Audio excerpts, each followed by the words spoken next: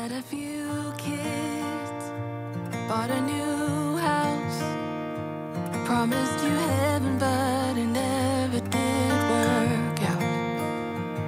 Got a new job and moved uptown. I bought you everything